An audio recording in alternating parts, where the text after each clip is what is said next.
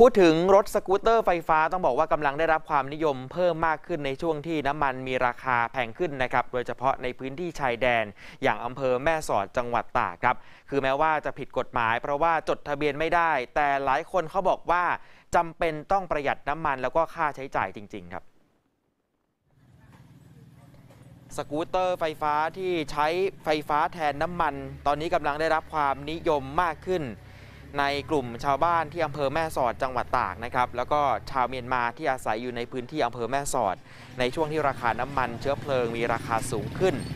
โดยรถสกูตเตอร์ไฟฟ้าส่วนใหญ่ถูกนำมาใช้ในการเดินทางระยะใกล้ ๆ แต่ก็มีบางส่วนที่นำออกมาขับขี่บริเวณเส้นทางหลักด้วยนะครับผู้สื่อข่าวก็ไปดูตามถนนหลายเส้นทางในแม่สอด ก็พบว่ามีการนำออกมาขี่จริง ๆ แม้ว่าจะผิดกฎหมายของกรมการขนส่งทางบกก็ตาม แต่ในช่วงสภาวะเศรษฐกิจแบบนี้ ชาวบ้านเขาก็บอกว่าจำยอมต้องใช้สกูตเตอร์ไฟฟ้า เพราะช่วยให้พวกเขาประหยัดค่าใช้จ่ายลงไปได้มากกว่าเดือนละ 2,000 บาทนะครับ ทีนี้ถ้าไปดูข้อมูล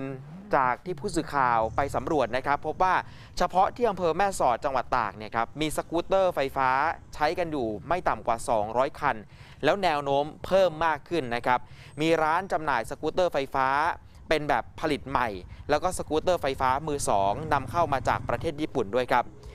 พันตำรวจเอกบนศักแก้วอ่อน ผู้กำกับการสถานีตำรวจภูธรแม่สอดก็บอกว่า คือถ้าว่ากันตามข้อจดกฎหมายเนี่ยครับปัจจุบันการใช้สกูตเตอร์ไฟฟ้า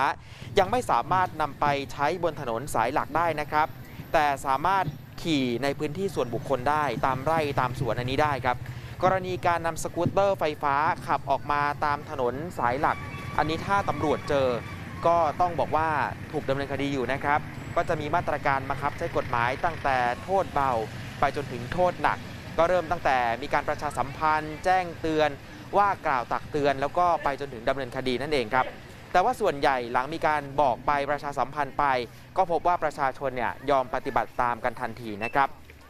จากข้อมูลของกรมการขนส่งทางบกนะครับ ก็พบว่าสกูตเตอร์ไฟฟ้าเป็น ยานยนต์ที่ไม่สามารถจดทะเบียน ตามพรบรถยนต์ พุทธศักราช 2522 ได้ครับ